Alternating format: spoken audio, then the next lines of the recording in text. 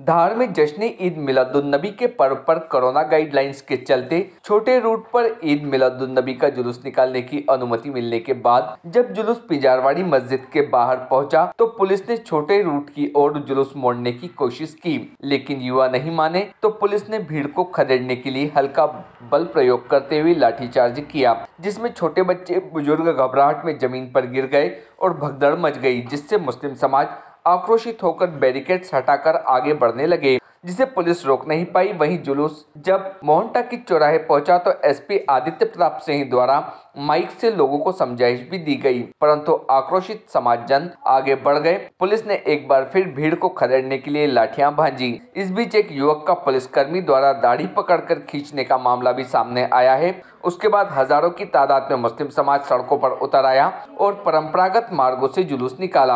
आपको बता दें कि जुलूस मार्ग पर कवरेज कर रहे कुछ मीडिया कर्मियों के साथ अलग अलग स्थानों पर अभद्रता करते हुए कैमरे छीनने का प्रयास किया, जिसके विरोध में मीडिया कर्मियों ने स्थानीय कंट्रोल रूम पर कलेक्टर एसपी को आवेदन देकर दोषियों के खिलाफ सख्त कार्रवाई करने के मांग की है। इस हल्की झड़प के बाद शांति से जुलूस निकला और अपने गंतव्य पर आकर समाप्त हुआ। जुलूस के बाद फातिहा के साथ अमन चैन की दुआ की गई और जुलूस का समापन हुआ। जुलूस के निकल जाने के बाद पिपली बाज़ार में बहुसंख्यक समाज के लोग एकत्रित हो गए और प्रशासन के खिलाफ नारेबाजी करने लगे, जिन्हें सीएसपी व अन्य पुलिस अधिकारियों ने समझाकर पुलिस थाने भेजा। धार से सुरेश तिवारी की रिपोर्ट। सर, आज लाठीचार्ज हुआ मिलादुलनबी जुलूस के दौरान क्या मामला देखिए लाठीचार्ज एग्जैक्टली नहीं हुआ। जो मिलादुलनबी का जुलूस था, उसके लिए एक रूट तय किया गया था। लेकिन फिर लोगों की ने, कुछ लोगों ने ज़िद की कि जो परंपरागत रूट है, उसी पे उन्हें निकालना है। उसको लेके कुछ शैतानी तत्व हैं, वो उस जुलूस में इन्वॉल्व हुए।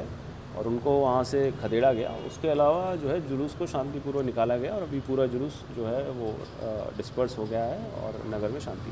सर सर भारी भीड़ थी जुलूस में जबकि गृह मंत्रालय की गाइडलाइन का उल्लंघन माना जा रहा है। देखिए उसमें जो ऑर्गेनाइजर्स हैं और जो अन्य लोग हैं उन्हें चिन्हित किया जाएगा और जो भी उसमें दोषी हैं उनके खिलाफ सख्त कार्रवाई की जाएगी। सर पुलिस कर्मियों को भी चोट आई है? नहीं अभी किसी को कोई चोट नहीं है।